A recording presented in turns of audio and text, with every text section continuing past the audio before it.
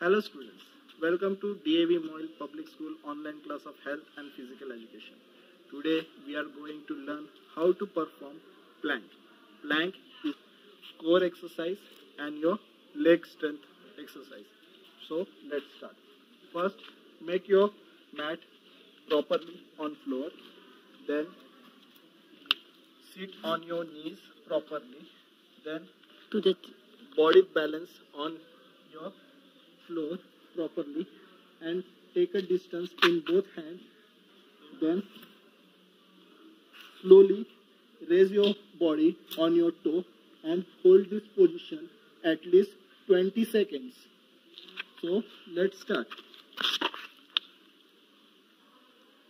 This is the procedure second then after 20 seconds then stretch your full body as Bhujangasana. Stretch your body properly.